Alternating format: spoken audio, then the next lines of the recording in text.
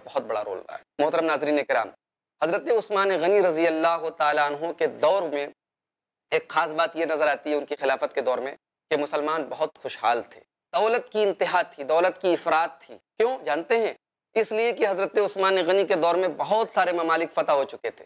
Armenia ان کے زمانے میں فتح ہوا خوراسان ان کے زمانے میں فتح ہوا، سجستان ان کے زمانے میں فتح ہوا۔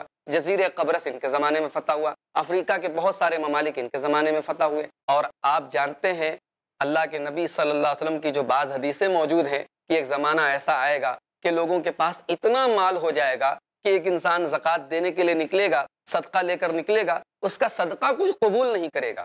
علماء نے لکھا ہے، امام حسن بصری وغیرہ سے منقول ہے کہ یہ عہد، یہ زمانہ حضرت عثمان غنی کے دور میں بھی دیکھنے کو ملا۔ حالانکہ بعض علماء کا یہ بھی خیال ہے کہ یہ دور ابھی آیا نہیں، یہ قیامت کے پہلے آئے گا۔ لیکن بہرحال دولت کی بے انتہا افراد حضرت عثمان غنی رضی اللہ تعالیٰ عنہ کے دور میں ہمیں اور آپ کو نظر آتی ہے۔